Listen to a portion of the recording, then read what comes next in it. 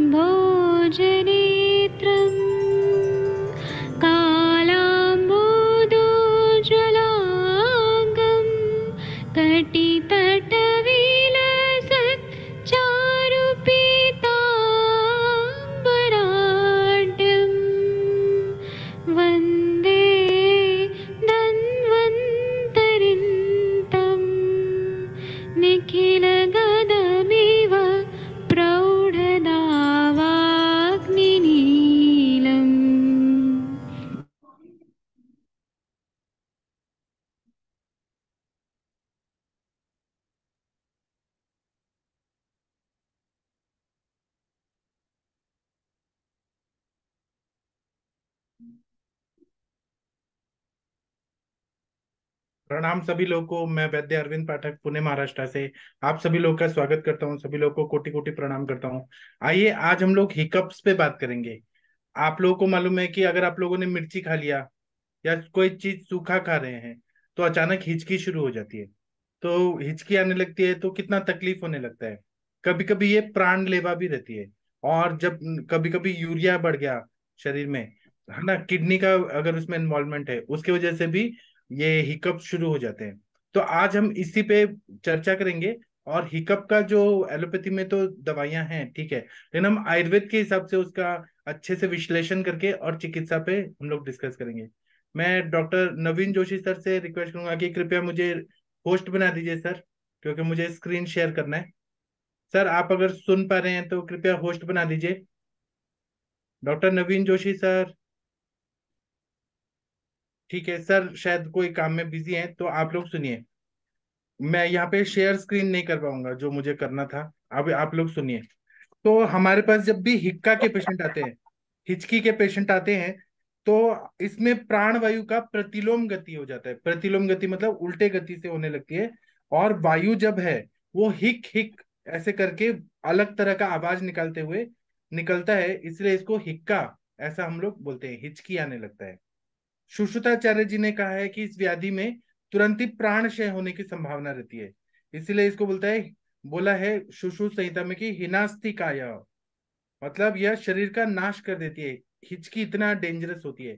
और आप लोगों ने ऐसा देखा भी होगा बहुत सारे लोगों में कि जब मृत्यु हो रही होती है तो लोगों का मुँह से हिचकी आती है और हिचकी के साथ प्राण निकल जाता है।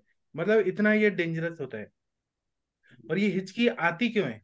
हिचकी आने का कारण क्या है कि मैं अभी आप लोगों को यहाँ पे स्क्रीन पे दिखाऊँगा भी सर अगर आप सुन रहे हैं तो कृपया मुझे होस्ट बना सकते हैं। मुझे शेयर स्क्रीन करना है सर। हाँ sir. Thank you sir thank you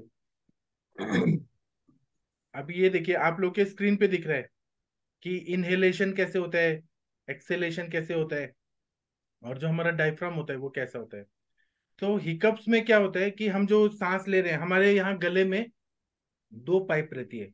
simple language में बता रहा हूँ, ताकि सबको समझ आए।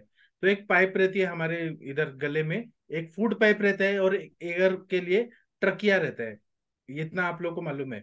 तो उसको बीच में कवर करने के लिए एपिग्लोटिस रहता है। तो जब हम खाना खा रहे हैं तो एपिग्लोटिस जो है, वो क्या करेगा कि जो अपना ट्रकिया है ना, उसके ऊपर कवर कर देगा। और जब हम सांस ले रहे हैं तो वह फ़ूड पाइप को कवर कर देता है, ताकि इधर उधर का चीज़ ना जाए। खाना जो है वो फ़ूड पाइप से जाए इसोफेगस से जाए पेट में, और जो सांस है वो ट्रकिया से अंदर जाए, इतना बेसिक चीज़ है। तो वो कवर कर देता है। जब कभी कभी क्या होता है कि फ़ूड पाइप में इंफेक्शन हो गया, या फिर फ़ूड पाइप में कुछ अटक गया कोई चीज़ तो एपिग्लोटिस जो है ना, अभी आप लोग को दिखा रहा हूँ, उसमें कुछ ना कुछ चेंजेस आ जाते हैं, और फिर क्या होता है कि ये जो डायफ्राम है ना, ये ऊपर नीचे होने लगता है तो जो सिंक्रोनाइजिंग इफ़ेक्ट होना चाहिए जो सांस लेने का और छोड़ने का, एक मिनट रुके आप लोग को मैं एक मिनट में ला रहा हूँ। तो वो नहीं हो पाता है तो ग्लॉटिस जो रहता है ना, एपिग्लोटिस, वो क्लोज हो जाता है। अभी जैसे अभी आप लोग के स्क्रीन पे आएगा। हाँ। इसी पे हम लोग और चर्चा करेंगे। आप लोग एक एक तरह से क्या पैथोलॉजिकल चेंजेस होते हैं वो देखिए। अभी आप लोग देखिए, डायफ्राम जो है, आप लोग के स्क्रीन पे दिख रहा है। डायफ्राम जो है, वहाँ पे जकड़न आ गया, स्पाजम हो गया है। है ना? और जो ओपन ग्लोटिस था, वो क्लोज ग्लोटिस हो गया है। इसलिए वो इतना ज़ोर से वायु को अटका देता है। वायु निकल नहीं पाता है। और उसके वजह से हिचकी आने लगती है। वायु निकलना चाहता है, लेकिन वो प्रतिलोमित हो जाता है। उल्टा साइड में होता है। प्राण वायु कैसे है? ऊपर से नीचे आना चाहिए। यहाँ पे प्रतिलोमित हो जाता है। इसी पे हम लोग और चर्चा करेंगे। तो आयुर्वेद में क्या बोला है कि जो हिचकी है, वो पाँच टाइप के सुश्रुताचार्य जी ने बताया एक है अन्नजा फिर सुश्रुताचार्य जी ने यमला बताया दो दो हिचकी, तीसरा शुद्रा, फिर गंभीरा, महती, है ना, ये पाँच तरह का बताया है। और ये कहाँ पे उत्पन्न होता है? तो जो अपना आमाशय है, उससे उत्पन्न होता है। जो पित्त स्थान है, उससे होता है। इसका हेतु माधव निदानकार में, माधव निदानकार ने बहुत बढ़िया बताया। क्या बताया? विदाही गुरु विष्टम्भी रुक्षाभिषंदी भोजन ही शीतपानाशन स्था न रजोधुमा तपा निलैहि व्यायाम कर्म भारद्व वेग घातापतर्पण हिक्का श्वास काशश्च निर्णम समुपजायते। अगर कोई भी इंसान अगर मरीच का सेवन करता है लाल मिर्ची हरी मिर्ची ज़्यादा तीखा चीज़ खाएगा है ना? कटु रसात्मक चीज़ें तो उसके वजह से हिचकी आने लगती है। उसी तरह से सरसों जैसे विदाही चीज़ें खाएगा या फिर सुअर का मांस खाएगा उड़द जैसे गुरु चीज़ खाएगा हैवी चीज़ और पानी नहीं पी रहा है लेकिन वो जाने में बहुत तकलीफ़ दे रहा है। विष्टम्भी चीज़, जो कॉन्स्टिपेशन करने वाली चीज़ें हैं, रुक्ष चीज़ें तो ऐसे, और ठंडा पानी पिएगा, बहुत ज़्यादा। ठंडे पदार्थों का सेवन करेगा, बासी खाना फ्रिज का खाना खा रहे। शीत प्रदेश में रहे वायु का प्रकोपक सारे हेतु हैं ये। और धूल में, धुआँ में, या फिर धूप में बहुत ज़्यादा रह रहे वो। और बहुत एक्सरसाइज कर रहे हैं बहुत ज़्यादा अति साहस कर रहे हैं संक्रमण कर बहुत ज़्यादा घूम रहे। हैं वेगों का अवरोध कर रहे। हैं अब तेरह धारणी वेग उनको रोक रहे। हैं लंघन आदि कारण से हिक्का श्वास का जैसे व्याधि उत्पन्न हो जाते हैं। तो इसमें क्या होता है? संप्राप्ति क्या होती है? आयुर्वेद के हिसाब से बताया है, चरक चिकित्सा स्थान सेवनटीन में बताया है कि प्राणोदका अन्न वाहिनी स्त्रोतांसी स कफनो नीला हिक्का करोति संरुद्ध मतलब इसमें प्राणव स्त्रोतस, उदक व स्त्रोतस और अन्न व स्त्रोतस की दृष्टि प्रमुखता से होती है। और प्राण, उदक और अन्न, इसको ध्यान में रखना चाहिए। तो अपना जो सांस लेने का जो प्राणव है रेस्पिरेटरी सिस्टम उदक व मतलब जो भी पानी पानी वाला जो है सिस्टम पूरा बॉडी में, और अन्न स्त्रोतम जीआईटी ट्रैक्ट इसोफेगस से लेके पूरा शरीर में, ये पूरा दूषित हो जाता है। वहाँ कहीं ना कहीं कफ का प्रकोप हो जाता है और प्राण वायु के मार्ग में अवरोध हो जाता है। यहाँ पे कफ का प्रकोप, ऐसा एक सिम्टम बताया कफ का प्रकोप होता है प्राण वायु का मार्ग अवरोध हो जाता है। इसमें ऐसा, संप्राप्ति में ऐसा बताया जाता है कि अन्नवार उदक व स्त्रोतस की दृष्टि होती है आमाशय में जो कफ है, क्लेदक कफ है, वो प्रकोपित हो जाता है। कफ का विमार्गमन होता है ऊपर के साइड में। और प्राणव स्त्रोतस में दुष्टि होती है प्राण वायु के मार्ग में अवरोध होता है। प्राण और उदान का जो गति है सिंक्रोनाइजिंग इफ़ेक्ट है कि प्राण ऊपर से नीचे आता है और उदान नीचे से ऊपर आता है। इसके गति में संघर्ष होता है और श्वास की प्राकृत लय जो बिगड़ जाती है, उसकी वजह से हिचकी आने लगता है। ठीक है? अभी हम और भी बातें करेंगे। आप सबके सब भारत के श्रेष्ठ चिकित्सक हैं। आप लोगों के पास भी हिक्की, हिचका के, हिक्का के पेशेंट आते होंगे हिकअप्स के। तो उसमें आप लोगों का भी अनुभव बहुत ही ग्रेट है। मैं सभी लोगों को प्रणाम करता हूँ। और हिकअप पे हम और बात करते हैं तो मॉडर्न साइंस में क्या बताया? इसमें बोला है कि unintentional movement spasm of the diaphragm मतलब डायफ्राम जो है, आप लोगों को मालूम है कि आप लोग को स्क्रीन पे दिख रहा है कि लंग्स के नीचे एक लेयर रहती है डायफ्राम जो अपने एब्डोमिनल ऑर्गन्स को कवर करता है, कि नीचे का भाग ऊपर ऊपर का भाग, एक तरह से बाउंड्री वॉल बनाता है है ना? वो एक मस्कुलर लेयर रहता है, उसको डायफ्राम बोलते हैं। तो मसल एट द इसमें क्या होता है? स्पाजम होता है, और वो कहाँ होता है? At the base of the lungs lungs के बेस में वो स्पाजम हो जाता है। तो spasm is followed by quick closing of the vocal cords मतलब स्पाजम ऐसा होता है कि वहाँ पे स्पाजम हुआ है डायफ्राम में। और जो अपना वोकल कॉर्ड है उसके पास जो ग्लॉटिस है एपिग्लॉटिस उसको भी वो क्लोज कर देता है। और उसकी वजह से एक अलग तरह का आवाज़ आता है। हम लोग जब बोल रहे हैं ना तो वोकल कॉर्ड की वजह से ही मैं नीचे से हमारा उदान वायु जो ऊपर आ रहा है परा पश्चंती वाणी जो ऐसे चार वा, वाणी रहती है तो वो किसके वजह से आ रहे वोकल कॉर्ड की वजह से। यहाँ पे वोकल कॉर्ड को स्पाजम हो गया है। क्विक क्लोजिंग हो गया बंद हो गया है। और उसकी वजह से एक हिचकी का, हिक हिक हिक, ऐसे हिचकी आने लगती है, एक आवाज़ आने लगता है। हिक्कप जो रहता है, उसका कोई कारण तो ऐसे स्पष्ट नहीं है, लेकिन हेतु जो है, वह हमने देखा कि मिर्ची खाने से होता है। सूखा, आप गाजर खाइए। सूखा गाजर खाने के बाद देखिए आपको हुचकी आने लगेगा। तो ये कभी कभी एक दिन रह सकता है कभी कभी हफ़्ते रह सकता है कभी कभी महीने रह सकता है, लेकिन इसका ये बहुत प्रॉब्लम रहता है कि अगर हिचकी ज़्यादा दिन तक रहे तो पेट दुखने लगता है बहुत ज़्यादा।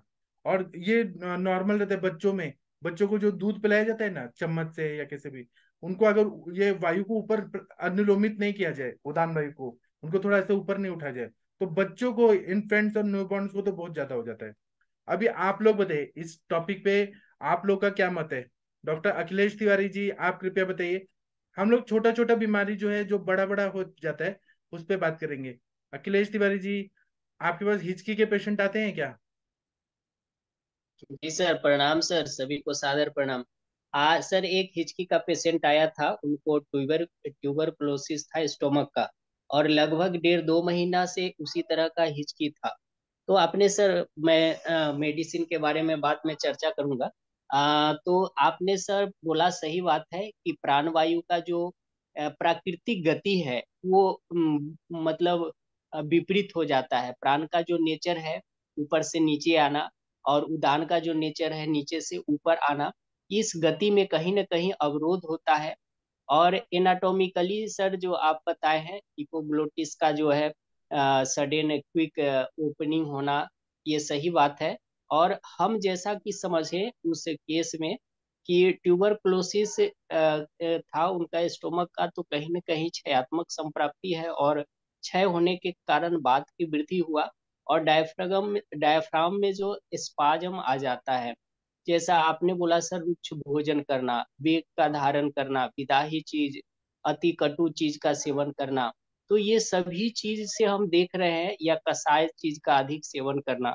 तो कहीं ना कहीं ये वायु का जो आ, हमारा आ, गलत मतलब प्रतिलोम होना हाँ। जी जी जी सर। और इसके कारण ही हमारे डायफ्राम में स्पाजम आ जाता है। और इस स्पाजम को रिलीज़ करने के लिए हमारी बॉडी की मैकेनिज्म है वो चाहता है कि इस तरह से मतलब एक फोर्स से इस चीज़ को नॉर्मल करे जिसको हम हिकअप के रूप में देखते हैं। जी सर जी। इस पर मनीषा मैम ये शशि मैम माधुरी मैम कुछ बोलना चाहेंगी?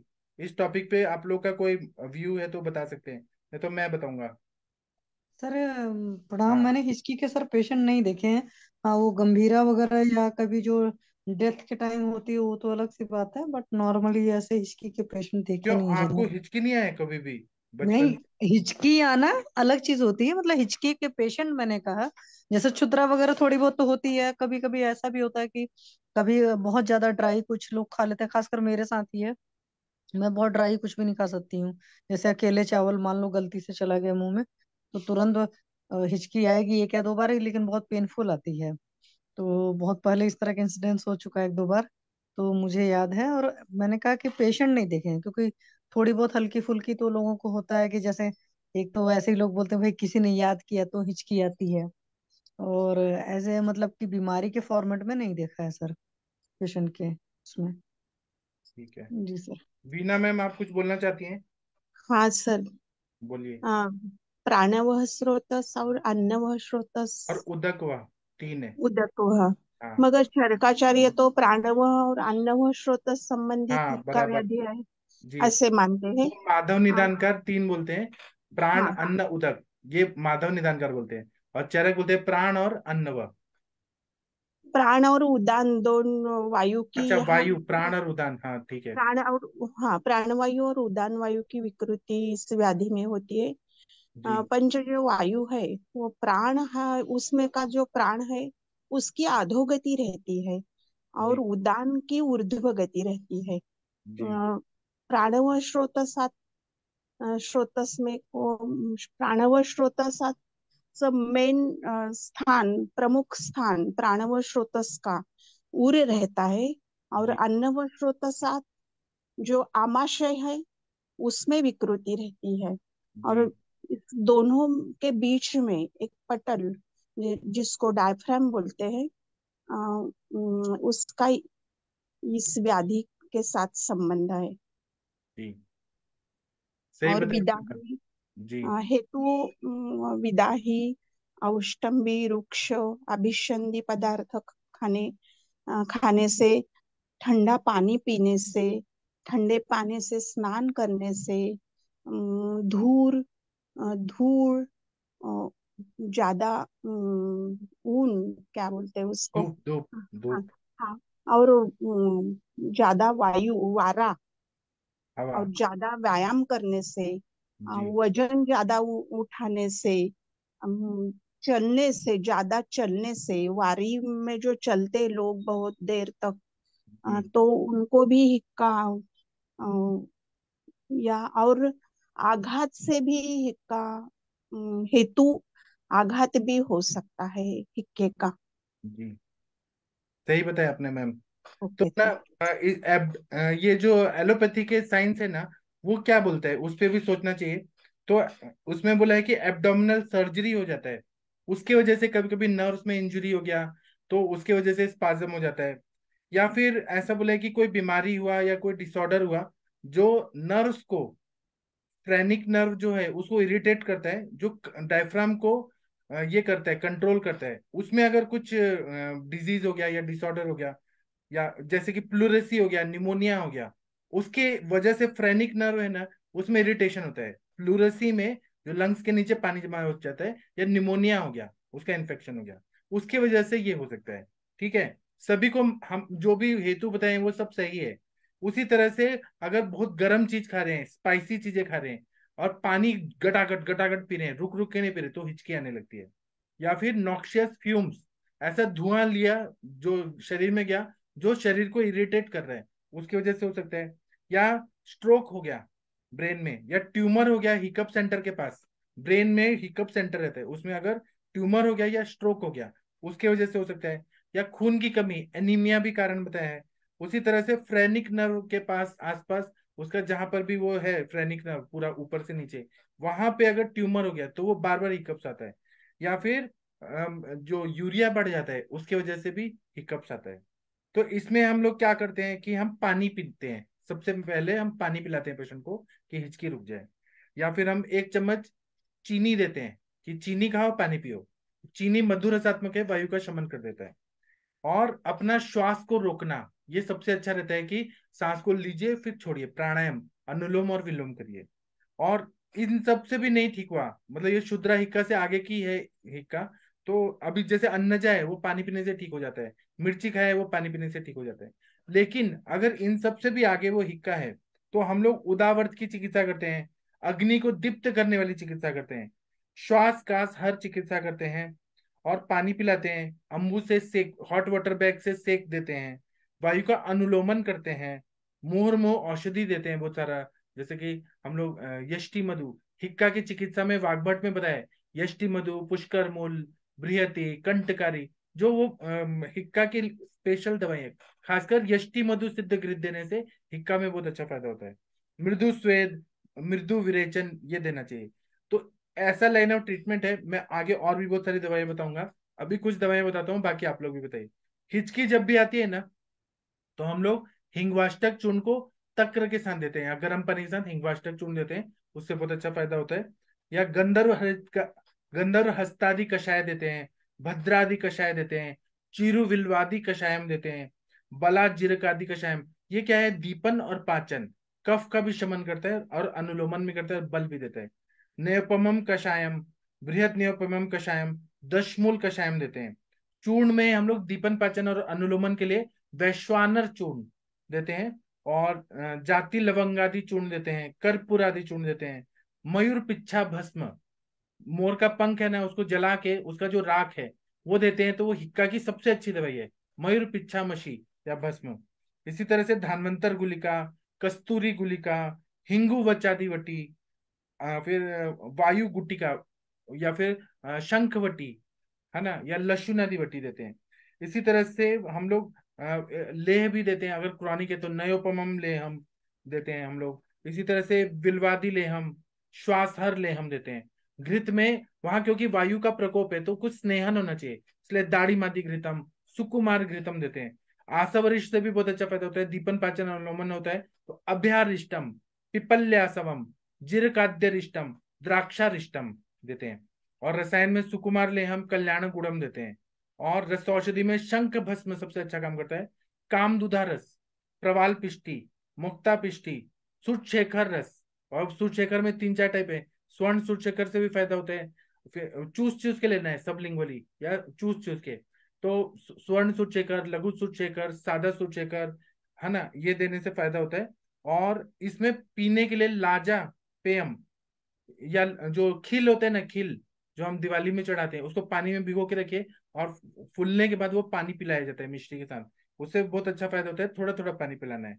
या अगस्त्य रसायनम, कुष्मांड रसायनम, वशिष्ठ रसायनम, ये देने से फ़ायदा होता है। और ऊपर चेस्ट में, ऊपर गले में हम लोग कर्पूर तेलम, लाक्षादि तेलम, ये लगाते हैं और मृदु स्वेदन करते हैं।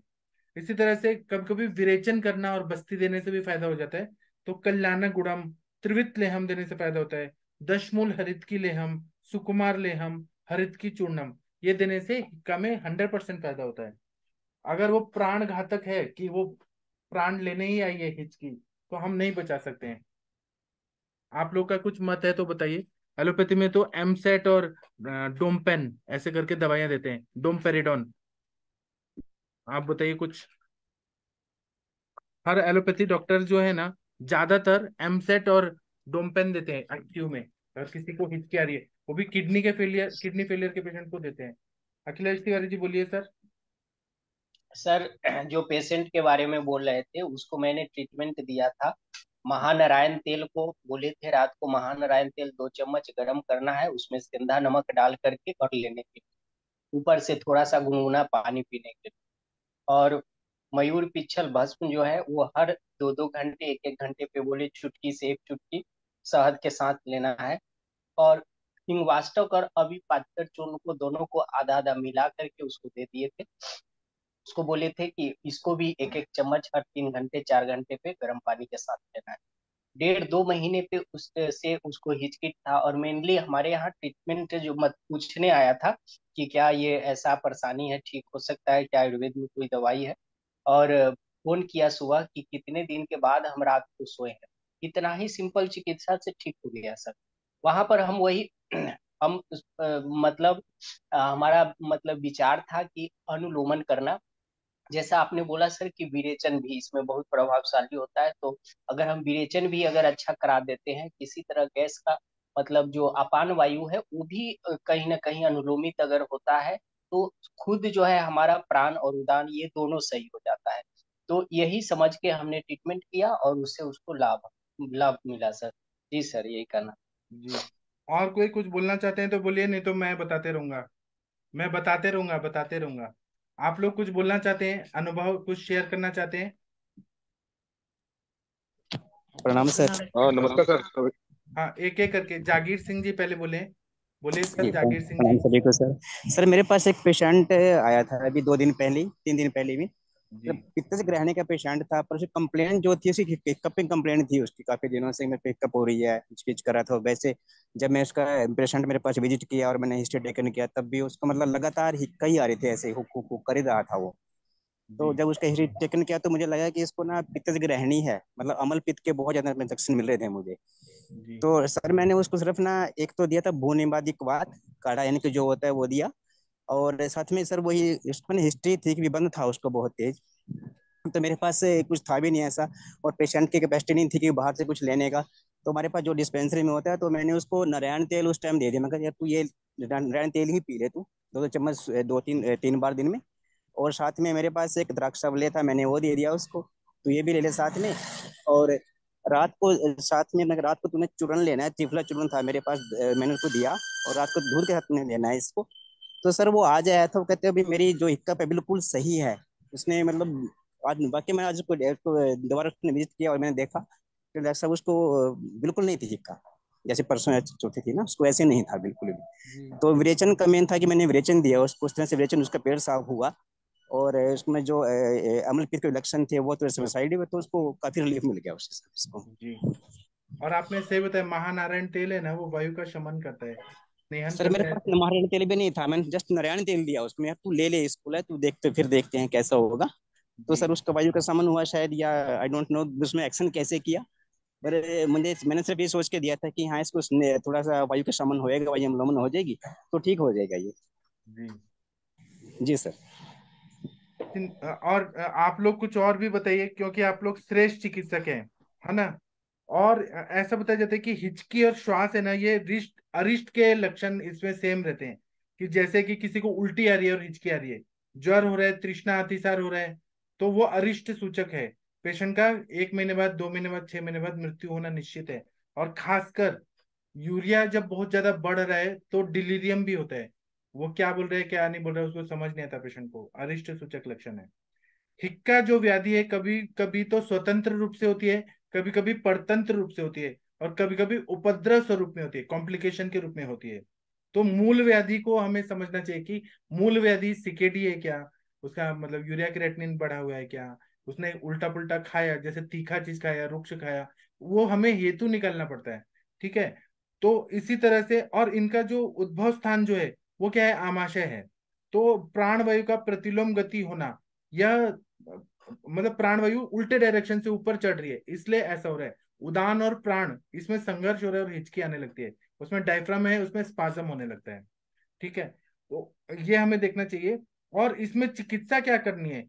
तो चरक चिकित्सा स्थान 17 चैप्टर में क्या बताए यद किंचित कप वातग्नम उष्णम वातानुलोमनम भेषजम पान्नम अन्नम वा तद्धितम श्वास किनो मतलब इसमें कफ और वायु की चिकित्सा करनी पड़ती है, उष्ण चिकित्सा करनी पड़ती है। वायु का अनुलोमन करने वाला औषधि और अन्नपान का प्रयोग किया जाता है। ठीक है तो वायु का अनुलोमन करना सबसे मेन होता है। तो प्राणायाम में आप लोगों को मालूम है कि रेचक पूरक और कुंभक। तो इसमें कुंभक करना अभी कुंभक के बारे में कोई कुछ बताना चाहेगा? शशि मैम आप कुंभक के बारे में बताइए कि कुंभक कैसे किया जाता है? सर कुंभक का मतलब सिंपल होता है कि जब जैसे आप चाहे सांस लीजिए मतलब चाहे कुंभक दोनों तरीके से किया जा सकता है, अंतः कुंभक बोलते हैं। और बाहर अगर ले जाकर रोक दे रहे हो तो बाह्य कुंभक होता है। कुंभक का मतलब सिंपली रोकना होता है। पूरक का मतलब होता है लेना, इनहेल। रेचक का मतलब सिंपल सा रेचन मतलब निकालना ही होता है। तो जो आप एक्सेल एक्सेल करते हो उसको रेचक बोलते हैं, जो आप इनहेल करते हो उसको पूरक बोलते हैं। और जो लेने के बाद में आप सांस को रोका या निकालने के बाद में सांस को रोका, जैसे कई सारे लोग निकाल देते हैं, फिर बाहर वहीं पर रुक जाते हैं। तो उसको बोलते हैं कुंभक। तो कुंभक जो है अपनी शक्ति के अनुसार करना चाहिए और कुंभक वही है हाई बीपी और अस्थमा के पेशेंट को मना होता है।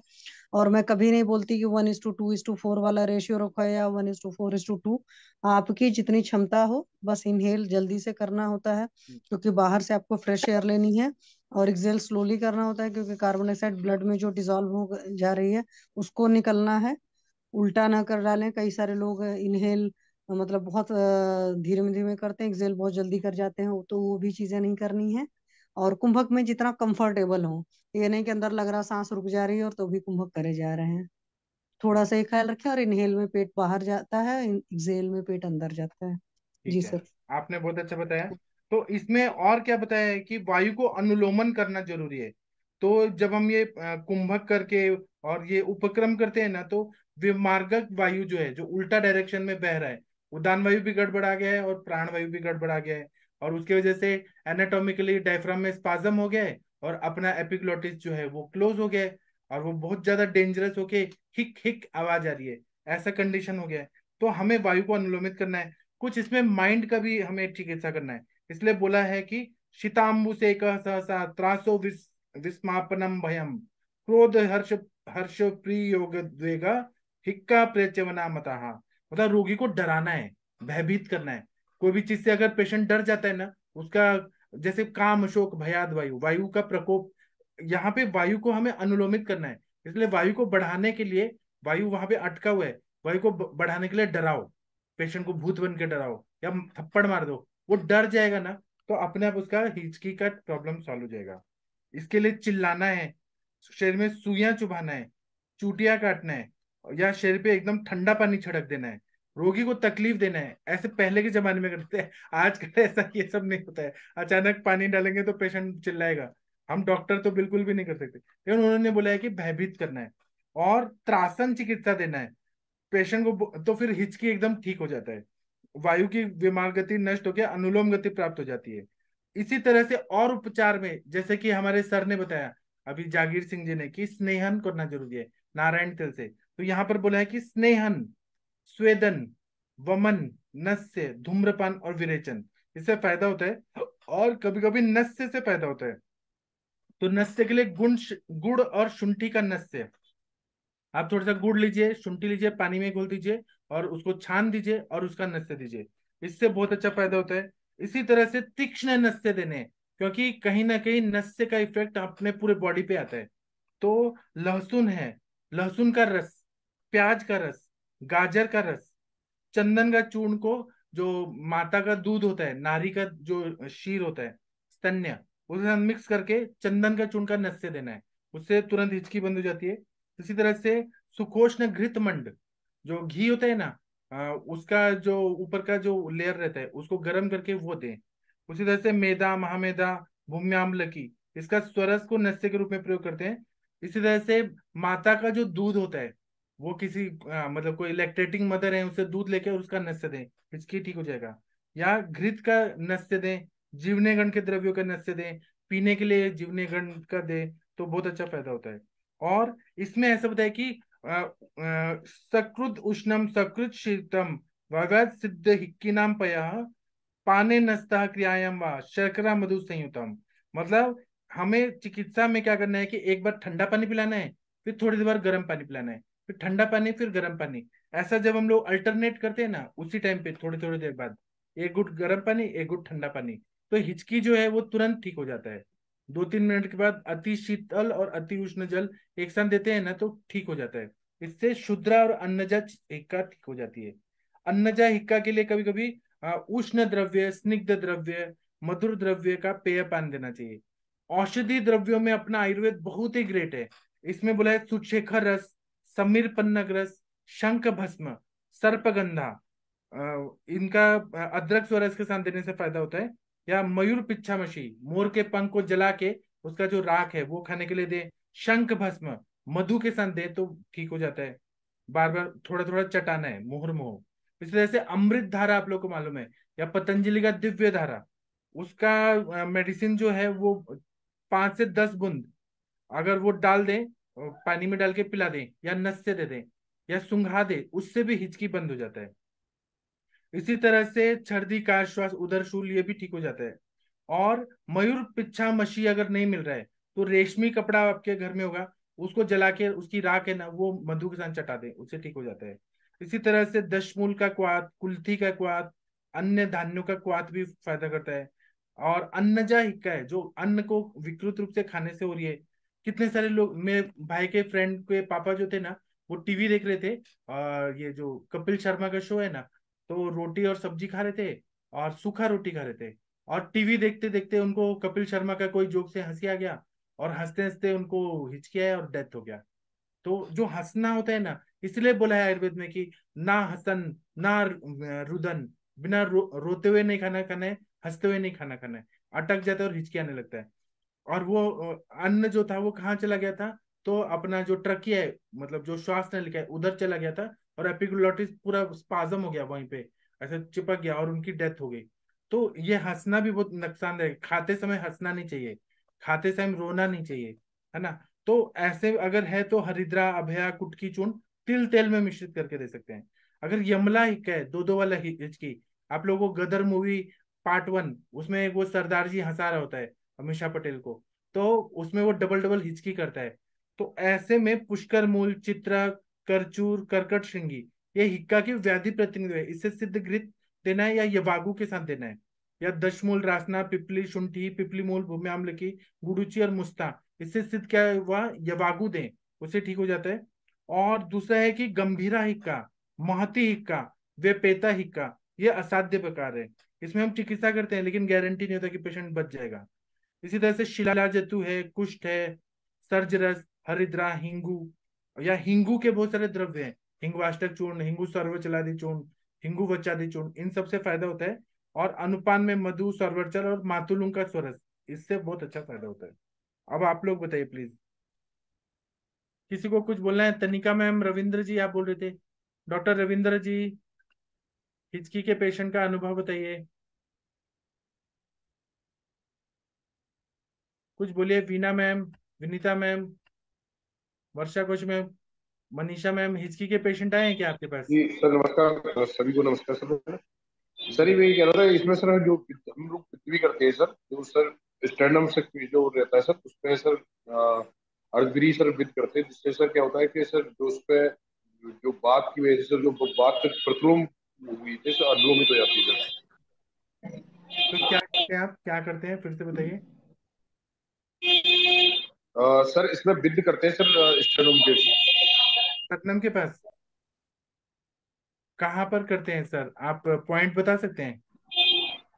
सर जो स्टैंडर्ड रहता है ना सर हमारी सिक्स या सेवन रहती है सर उसकी मिडिल में हाँ। वहाँ पे विद्य कर्म करने से फ़ायदा होता है। ठीक है। वर्षा मैम आप कुछ बोलना चाह रही थी? ज्ञान की वर्षा करी दीजिए आयुष दर्पण पे। Doctor Varsha ma'am, Aditya sir, आप कुछ मॉडर्न मेडिसिन बताएँगे हिकअप्स के लिए? कुछ याद है तो बताइए sir. Varsha ma'am, Manisha ma'am, कुछ बोलिए आप लोग। गंगवार सर, आपके पास आते हैं क्या पेशेंट हिकअप्स के? आप लोग बोलिए, नहीं तो मैं बोलते रहूँगा। हाँ वीना मैम बोलिए। बैक्लोफेन सर बैक्लोफेन और इलेक्ट्रोलाइट चेक करते सर आपके मॉडर्न वेस्टर्न मेडिसिन में क्या होता है? हिकअप्स क्या होता है? आप थोड़ा बताइए ना। हिकअप डायफ्राम के इरिटेशन से होता है। तो उसमें हम या तो बैक बैक्लोफेन देते हैं और इलेक्ट्रोलाइट चेक करते हैं। जी। ठीक है।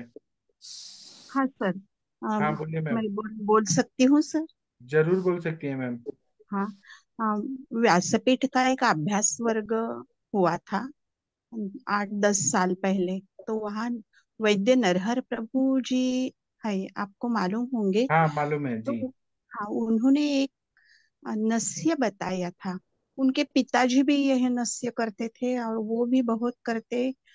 विनय वेलनकर जी भी बहुत यह नस्य करते हैं। लवण है ना सैंधा नमक। सैंधव लवण और जल। जी। उसका नस्य करते हैं और उससे तुरंत हिक्का कम होती है और उसका रेफरेंस योग रत्नाकर में मिलता है सर। सैंधवम अम्बुनावा निहंती हिक्काम ननु नान वीण ऐसा उसका रेफरेंस मिलता है।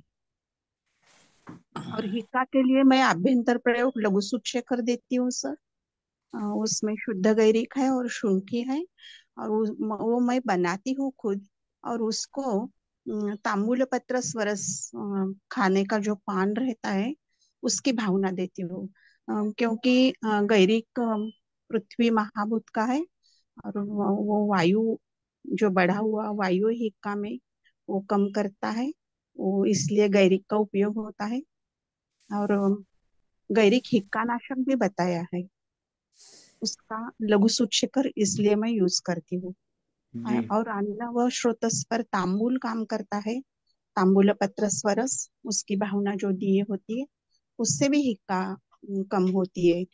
और हृदय को बल्य ऐसा ये तांबूल पत्र स्वरस बोल दिया है। तो हृदय को भी बल मिलता है जो हिक्का में कम होता है बल हृदय का। और मला वातानुलोमन के लिए गंधर्वारी तक की क्योंकि उसको एरंड स्वरस की भावना दी होती है गंधर्वारी तक की देती हूँ इतने छोटे छोटे मेडिसिन से हिक्का कम होती है sir. Ji. Okay thank you. और आपने जो आपने अभी रेफरेंस बुक के लिए योगो का बुक यूज़ किया है सर? नहीं मेरे पास या बहुत सारी किताबें हैं। मेरे पास इतनी किताबें आप कभी आएँगी ना तो आप बोलेंगे कि कितनी किताबें हैं। मैं अलग अलग बुक से पढ़ाता हूँ। अलग अलग बुक से नोट से बताता हूँ। पहले मैंने जो कषाय वगैरह बताए वो कुछ अलग बुक से बताए। मैंने जो बहुत सारे कषाय बताए। Okay okay. थैंक हाँ यू उसमें यगो में कहाँ दिया है कषाय वगैरह? ठीक है। और गंगवार सर आप बताइए सर। हाँ प्रणाम सर। आप बताइए, प्रणाम सर, बताइए। हमको जो पेशेंट आते हैं, अधिकतर जो होता है गैस्ट्रिक इरिटेशन के पेशेंट होते हैं गैस्ट्रिक इरिटेशन कैसे ही कम कर दो। जैसे शिवाचार है, जैसे आपने बताया मयूर पिच भस्म कामदरस मोती युक्त है, ये सब देते हैं और सर उससे आराम मिल जाता है पेशेंट को। एक मेरा ऐसी सीकेडी का पेशेंट था, उसे ज़बरदस्त हिक्कप आते थे तो सर उसे एलोपैथी की मेडिसिन भी दे रहे थे तो उससे क्या हो रहा था मसल्स एकदम रिलैक्स हो जाती थी उसकी, और एकदम बहुत ज़्यादा पेशेंट एकदम मतलब उठ भी नहीं पाता था वो। करीब उनकी एज भी अच्छी खासी थी चौरासी पचासी साल के थे सर वो। तो सर मैंने उसे ट्रीटमेंट दिया ये क्या कहते हैं उसमें शिवाचार आविपत्तिकर और कामदा रस। तो पेशेंट को मतलब लगातार दे, देते रहे और क्या कहते हैं सही होते चला गया लगातार सर। और दो दिन में उसके हिक्कप रुक गए सर पेशेंट जी सर बहुत बढ़िया बताया आपने सर। इसी तरह से और पेशेंट आते हैं तो द्वारा आसानी से हो जाया करते सर। हैं जी। बहुत बढ़िया बताया सर आपने बहुत अच्छा बताया। थैंक यू सर और कोई कुछ बताना चाहते हैं तो बताइए। हरिहर सर आप बताइए सर। सर ये सर ने विद्या बताया कहाँ बताया था करना? विद्ध कर्म कहाँ बताया था? रविंदर सर आपका आवाज़ क्लियर नहीं आ रहा था उस टाइम। जी आप या सर। तो दिखा दीजिए या बता दीजिए। डॉक्टर रविंदर सर आप या तो दिखा दीजिए या बता दीजिए फिर से। वो कहाँ गए? शायद पेशेंट देख पेशेंट देख रहे हैं शायद। ठीक है हरिहर सर आप बताइए सर। हिचकी में क्या देते हैं आप? ये दवाई तो सब देता हूँ लेकिन इमरजेंसी में सूठी गुड़ और पानी उसका नशे देने से तुरंत फ़ायदा हो जाता है। जी। ठीक है बहुत बढ़िया बताएँ इसमें कुछ पथ्य पथ्य भी डिस्कस करते हैं। बाकी आप लोग भी बोलिएगा। इसमें जीर्ण शालिषष्ठिक जो चावल रहते है पुराना वाला वो देने से फ़ायदा होता है। कुल्थी गोधुम मतलब गेहूँ और जौ, ये बहुत अच्छा काम करता है। और मातुलुंग पटोल और कच्चा मूली, लहसुन और मधु और पका हुआ कपित्थ, ये बहुत पथ्यकर है। और गर्म पानी, जांगल पशु पक्षियों का मांस रस बहुत अच्छा रहता है। विहार में नींद बहुत लेना चाहिए विश्राम करना चाहिए। इससे हिचकी का प्रॉब्लम तो डायफ्राम रिलैक्स हो जाएगा, एपिग्लोटिस भी खुल जाएगा तो ठीक हो जाएँगे पेशेंट। हाँ अब शशि मैम कुछ बोलना चाहती हैं। बोलिए शशि मैम। कुछ बोलिए बोलिए। सॉरी सर गलती से अनम्यूट हो गया। मैं ठीक रोड है। पर हूँ आवाज़ आएगी। कोई बात नहीं। वर्षा मैम आप ज्ञान का वर्षा सर करिए। हाँ हाँ सर प्रणाम सर। हाँ बहुत मनीषा अच्छे मैम आप करिए। जी। जी ये सभी कुछ तो आपने अच्छे से बता दिया अवरुद्धता क्लेदन होने से। सर इसमें औषधि को हमको रोगी को देखते हुए देना पड़ता है। यदि देख कभी कभी क्या है मल विसर्जन है तो उसको शोधन करना है विरेचन देना है। विरेचन नहीं तो बस्ती देना क्योंकि विरेचन की कंडीशन में रहता है। कभी कभी पेशेंट क्या है, औषधि लेने की कंडीशन ही में नहीं रहता। वो इतना हिक हिक इतनी कंटिन्यूसली करता है। एक पेशेंट थे और एक तो मेरे इन लॉ ही थे सर वो उनको कंटिन्यू दो दिन तक ऐसे ही चलता रहा चलता रहा। बहुत परेशान। एलोपैथिक में डॉक्टर सारा प्रयास कर लिए नहीं रुका। लास्ट में उनको फिर सतपुटी ताम्र भस्म और गुडची सत्तू एक रत्ती, एक एक रत्ती मिला करके एक एक माशा, एक रत्ती ताम्र भस्म एक माशा सतपुटी इसको और गिलोय सत्तू को मिला करके उनको शहद से चाटन किए। उसके बाद उनको काफ़ी रिलीफ आ गया। फिर थोड़ा छाती में, अब उस समय तो ऐसा कुछ था नहीं। तो सरसों तेल और सेंधा, नमक मिला के गरम करके उसको गले में छाती में हल्का हल्का उनको स्वेद दिए। स्वेद देने के बाद थोड़ा कपड़े से सिकाई की। और सर उसके बाद उनको ना टोबेको का खाने का था मतलब बहुत दिन से उनको छोड़ दिए थे तो तम्बाकू ऐसे करके बार बार इशारा कर रहे थे तो थोड़ा सा तम्बाकू दिए। सर वो जहाँ तम्बाकू लिए वो बिल्कुल ठीक हो गए। कैसे? तो कभी से कैसे ठीक हुए? सर ये दवा तो दी मैं तो उसको उनको आराम आ गया लेकिन फिर भी बीच बीच में आता था जो कंटिन्यू जाता था लेकिन तम्बाकू जैसे बना बना के दिए और उनको मुँह में डाले हैं और थोड़ी देर के बाद उनको अच्छा लगने लगा। तो एडिक्शन भी है इसमें कुछ अच्छा ऐसा है। बराबर। तो क्या है कि अभी तक तो इक्कीस तारीख तो तक तो पे और भी तो कुछ बोल रहे तारीख तक तो आराम से जाएगा और गाँव में कितने दिन के लिए जा रहे हैं? पल्लवी जी कौन बोल रही हैं? पल्लवी जी कौन अच्छा तो है। कोई है। और सर एक पेशेंट आया था तो उसको वातज काफ़ी नाड़ी उग्र थी उसकी और उदान वायु भी उसका प्रकोपी था। तो उसमें वात चिंतामणि रस और गिलोय सत्व मयूर पिच्छा भस्म तो हम लोग यूजुअली देते ही हैं बट इसके साथ भी मैंने दिया और नस्य का प्रयोजन किए। हम्म। नस्य में उन उसको थोड़ा सा कर्पूर और नारियल का तेल ही था उस समय तो वो मिला करके दो दो ड्रॉप करके दे दिए। उसमें हम्म। उसको आराम आ गया। तो कभी कभी सडनली कि अलग अलग पेशेंट को क्या है किस तरह से है यदि श्वासजन्य है या मल उसकी बद्धता है या कहीं वायु की अवरुद्धता है स्पाजमेटिक है तो इसको देखते हुए हमको अलग अलग चिकित्सा व्यवस्था बनानी पड़ती है। बाकी आपने तो बहुत अच्छे से बता दिए सर। चरक में भी बहुत अच्छा वर्णन किया गया है एकता में तो अपने आयुर्वेद के माध्यम से बहुत अच्छा और अच्छा लाभ मिल जाता है। नहीं तो लोग सर कई कई दिन तक हिचकी से परेशान रहते हैं लोग। महीनों हम्म। परेशान रहते हैं। जी। जी। थैंक यू सर हाँ। इस पर और कोई बोलना चाहते हैं? वर्षा मैम आप कुछ बोलना चाह रही थी उस टाइम? ये पल्लवी जी आप कौन है? आप कुछ तो अच्छा सा बता रही थी अपने पेशेंट को। डॉक्टर पल्लवी जी कौन है आप? पता नहीं कोई आप है। ठीक है। वर्षा मैम नहीं बोलेंगी, विनीता मैम, आप हिचकी के पेशेंट में क्या देती हैं? प्रणाम सर, मैंने ऐसे पेशेंट नहीं देखे, बस अपने आसपास के लोगों में देखा है, क्षुद्रा और अन्नज वाली हिचकी और मैं मेरा खुद का ये सर मैं हरी मिर्ची जैसे लोग खाने के साथ काट काट के खाते हैं ना मैं नहीं खा पाती। मैं अगर एक भी बाइट लूँगी तो मुझे हिचकी आ जाती है। अच्छा। तो मेरे को उससे दिक्कत होती है। तो आप कभी खाती नहीं है हरी मिर्ची? नहीं सर ऐसे मतलब वैसे पका के खाती हूँ। कच्ची मिर्ची जैसे लोग बहुत शौक से खाते हैं ना अलग से वड़ा पाव के साथ जैसे मिलती है कच्ची हाँ। मिर्ची और उसको खाते हैं। तो उस तरह से मैं नहीं खा सकती। मैं एक एक बाइट भी लूँगी तो मुझे बहुत तेज हिचकी आती है। और आपने कब वड़ा पाव खाया?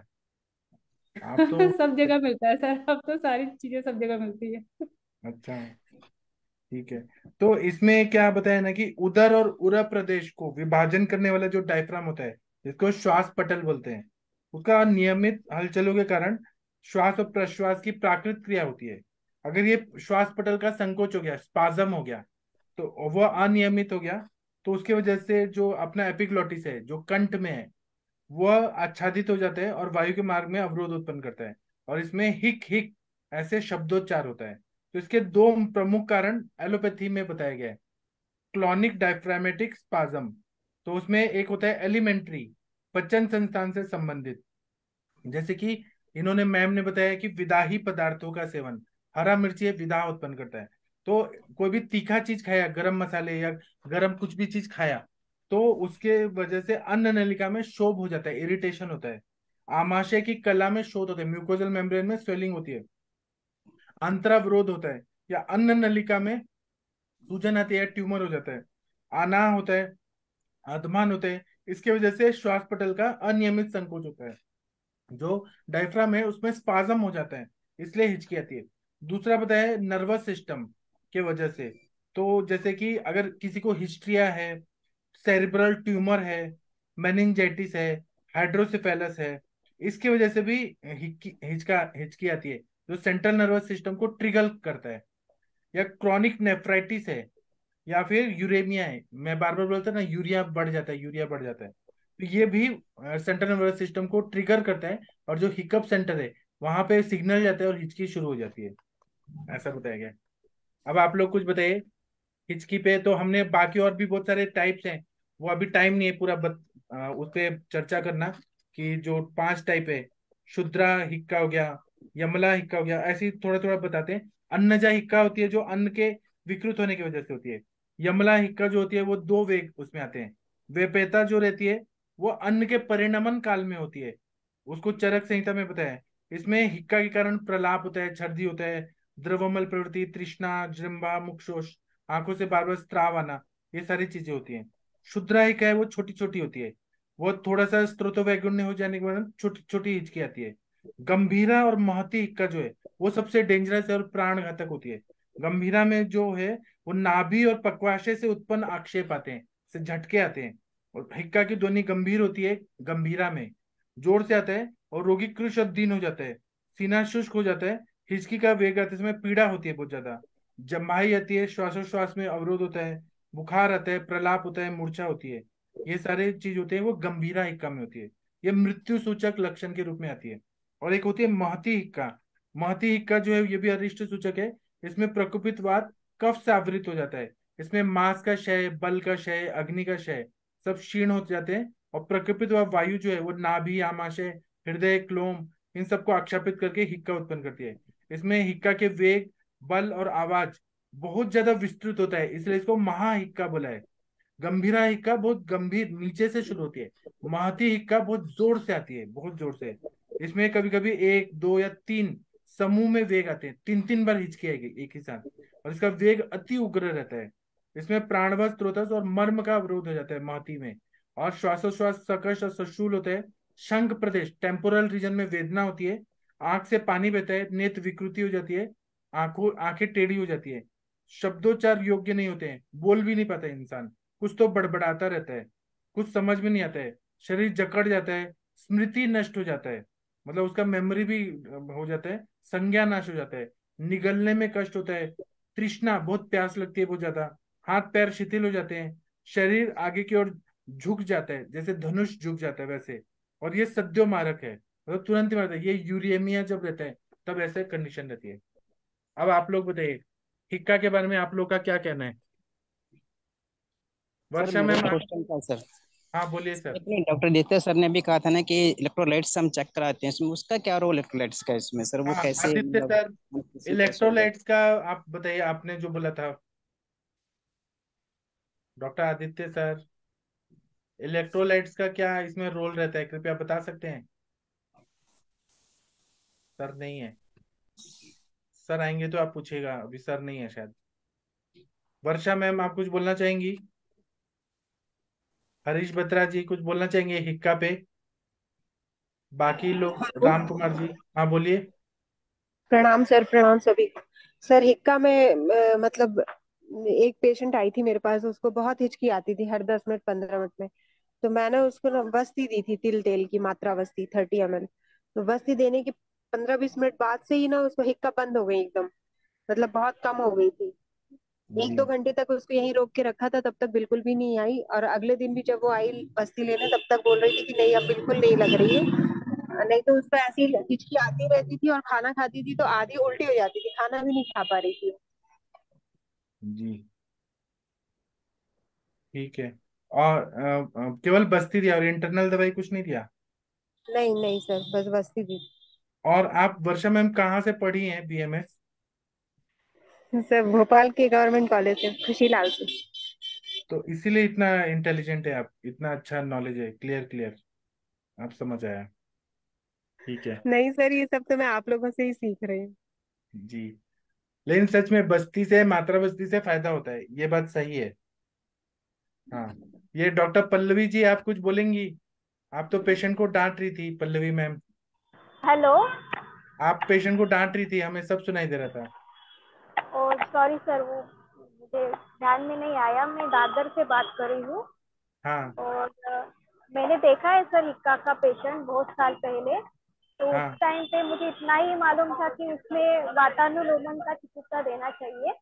हाँ। तो उस टाइम मैंने उसको जब वो पेशेंट आई थी मेरे पास लेडीज़ ही थी। और देखने से तो वात प्रकृति दिख रही थी।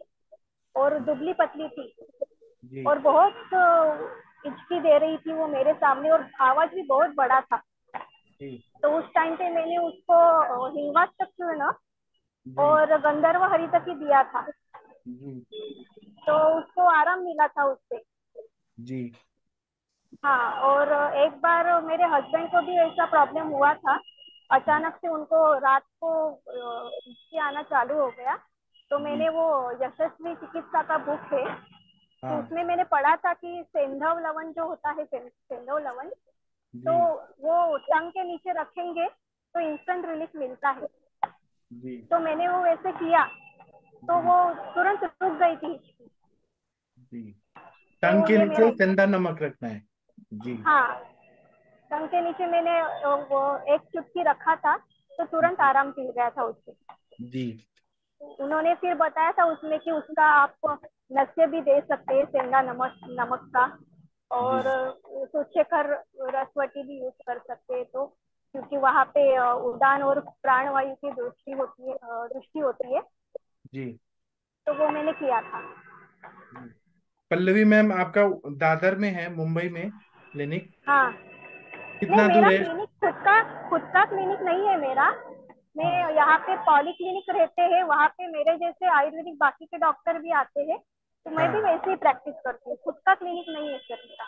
ठीक है ना मुंबई में कितना कॉस्टली है। तो वहाँ किस तरह के पेशेंट आते हैं मैम मुंबई के लोग तो भागते रहते हैं भागते रहते हैं दिन रात चल सर यहाँ पे ज़्यादा तो मुझे तो ज़्यादा ना डाइजेशन प्रॉब्लम वाले ज़्यादा पेशेंट दिखाई देते हैं। हाँ। जिनका एसिडिटी का इश्यू है और पाइल्स का भी बहुत पेशेंट मिलते हैं यहाँ पे जो ड्राइवर लोग रहते हैं तो हाँ उनको हमेशा वो बैठ बैठ के वो पाइल्स के प्रॉब्लम ज़्यादा रहते हैं तो वो भी पेशेंट ज़्यादा रहते हैं। तो बाकी के भी पेशेंट आते हैं लेकिन ज़्यादातर डाइजेशन के प्रॉब्लम मुझे ज़्यादा दिखते हैं। तो वो लोग क्या वड़ा पाव खाते हैं अध्ययन करते हैं कभी भी सोते हैं कभी भी जागते हैं भागते रहते हाँ हैं? वो तो सर वो एक्चुअली मुंबई का वो लाइफ ही है कि तो कभी भी खाओ कभी भी उठो दोपहर का खाने का ठिकाना नहीं रहता रात का खाना दस बजे या तो ग्यारह बजे रहता है। फिर उठने का भी उनका सोने का भी ढंग का टाइम नहीं रहता। तो उनको तो पहले वही बताना पड़ता है कि आप अगर टाइम पे खाना खाओगे अच्छे से सोओगे तो ये बीमारी आपको आएगी नहीं। जी। फिर अगर वो फॉलो करते हैं तो अच्छे रिज़ल्ट मिलते हैं उनको। दवाई के साथ साथ थोड़ा सा के बारे में जानकारी देंगे तो अच्छे अच्छे रिज़ल्ट मिलते हैं। जी। और मैम आप कितना इंटेलिजेंट हैं कि आप मुंबई जैसे जगह पे प्रैक्टिस करके आयुर्वेद को इतना अच्छा कर रही हैं। सच में बहुत अच्छा खुशी हो रहा है। एक्चुअली मेरा प्रैक्टिस आपके लेक्चर सुनने के बाद बहुत अच्छा बढ़ गया। और मैं दो साल से आपके लेक्चर सुन रही हूँ लेकिन मेरा टाइमिंग ऐसा है ना मुझे वो लाइव आने को थोड़ा सा प्रॉब्लम होता है। अभी भी सेशन चालू थे क्योंकि मैं इवनिंग के टाइम पे बैठती हूँ क्लिनिक में। जी। तो फिर वो प्रॉब्लम आता है लाइव लाइव तो मैम आप आप मेरे से और क्या अपेक्षा करती हैं? मुझे कैसा सर आपने अभी तक जो दिया है ना वो बहुत दिया है। तो और क्या चाहिए? जी। मैं और कोशिश करूँगा कि मैं और आप लोगों। को और आगे बढ़ा सकूँ और कुछ सिंप्लीफाई करके। हाँ और हम भी सर आपसे हमेशा कनेक्टेड रहेंगे। अभी मैं भी बोल सकती हूँ कि हाँ आप जैसे हमको भी गुरु है जैसे मेरे फ्रेंड बोलते हैं कि हम आवाज़ सर से सीख के आए हम जमदग्नि सर से सीख के आए। तो मुझे भी ऐसा लगता था कि मेरा गुरु कौन है? लेकिन जब से आपको मैंने आपके लेक्चर सुने हैं तो मैं आपका गुरु मानती हूँ कि नहीं अभी मेरा भी कोई तो गुरु है करके। जी। ठीक है हाँ। तो अच्छा लगता है। थैंक यू मैम हाँ। ओके थैंक यू हाँ। आप आदित्य सर आ गए हैं। इलेक्ट्रोलाइट्स हाँ इलेक्ट्रोलाइट्स वाला जो बता था कॉन्सेप्ट वो क्लियर कर सर एक्चुअली जैसे इलेक्ट्रोलाइट का है खासतौर से अगर कम की तरफ़ है तो यूजुअली ट्रिगर कर सकता है वो हिचकी जैसे अगर सपोज़ किसी का सोडियम कम है तो अगर और उसको हिचकी भी आ रही है तो फिर हम उसका सोडियम ठीक करने का कोशिश करते हैं। हिचकी आ रही है और इलेक्ट्रोलाइट्स कम है तो इंसान को सीजर्स की भी संभावनाएँ हो सकती है अगर लगातार हिचकी आ रही है तो। अ, मतलब जो गंभीर बीमारियों के पेशेंट होते हैं उनको हिचकी आ रही है। जी। जैसे कीमोथेरेपी दिया हिचकी आ रही है तरीके से। और सर इसी तरीके से कैल्शियम मैग्नीशियम पोटेशियम ये तीन चीज़ भी चेक करते हैं। इनमें से अगर कुछ कम हो तो उसको करेक्ट जी। किसी को आदित्य सर से पूछना है कुछ? कॉन्सेप्ट क्लियर हो गया आप लोगों का जो पूछ रहे थे Ravinder sir? Yes sir yes sir हो गया सर हाँ ठीक है। तो अभी हम सेशन बंद करते हैं। एक घंटा का टाइम हो गया है। अभी हम पंद्रह मिनट बाद फिर मिलेंगे क्लिनिकल डिस्कशन में। ठीक है? तो थैंक यू प्रणाम सभी लोगों को। हम अब थोड़ी देर के ब्रेक के बाद मिलते हैं।